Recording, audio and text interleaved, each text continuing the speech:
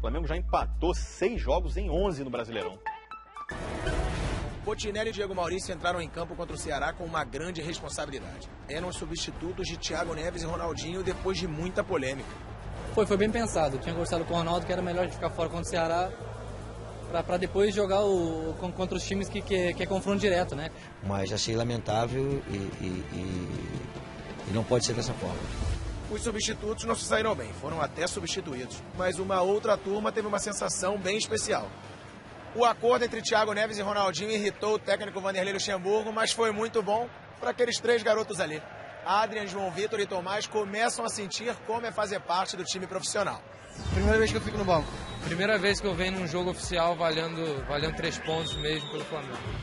O João Vitor já tinha sido relacionado entre os profissionais, é o mais velho deles, tem 19 anos. Tomás tem 18 e Adrian apenas 16. Os três foram criados no Flamengo. Tomás e Adrian conquistaram neste ano a Copa São Paulo de Futebol Júnior. Mas entre os profissionais é tudo bem diferente. E ter oportunidade profissional foi emocionante. Adrian foi o único que não entrou. João Vitor teve a chance e pouco fez. Já Tomás foi bem, agradou o treinador. Ele é agressivo, ele vai para dentro dos caras. Mas quem chamou a responsabilidade foi um veterano. Olha a chegada do Renato! Gol! Renato fez o gol do Flamengo e se tornou o 50 maior artilheiro da história do clube. Já são 56 gols. Eu tive a oportunidade, acabei fazendo um gol, né? Fico feliz com isso. O Ceará chegava algumas vezes com perigo, mas o Flamengo tinha o domínio do jogo. No segundo tempo, os visitantes nem ameaçavam, pareciam perdidinhos.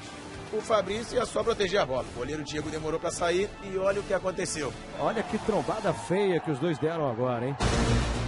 Mas a defesa do Flamengo também se atrapalhou. E Felipe empatou pro Ceará. Tocou Felipe Azevedo, olha a chance do gol, passou, tocou, na trave, gol! Falha dupla do Wellington. O Wellington errou duas vezes até que o Felipe Azevedo conseguiu fazer a conclusão. Depois do lance, o zagueiro Wellington foi vaiado pela torcida até o fim do jogo. Acho que eu já passei por muita dificuldade na minha vida e eu sei que no dia a dia eu vou, vou fortalecer e um dia eu vou ser vacinado para essa torcida. Vanderlei defendeu o Wellington, discutiu com alguns torcedores e reclamou das críticas. Acho que é um pouco de crítica demais, né? É, vamos ver um pouquinho de comer um pouquinho de mel, sair de casa, botar um melzinho na boca, adoçar um pouquinho, né? Para poder ficar um pouquinho mais leve. É, mas o que adoça a boca da torcida é vitória.